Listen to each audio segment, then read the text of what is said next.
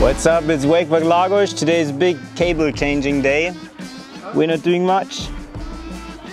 These guys are. Check it out.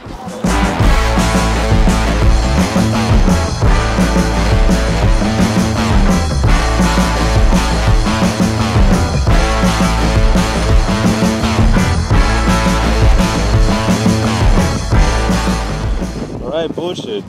Ah, so yeah, we're just changing all the bits and bobs because it gets corroded by the all the salt. We're just making sure that they're all new for season, that we don't have any, any surprises, and everyone is safe. Sounds like bullshit. Told you.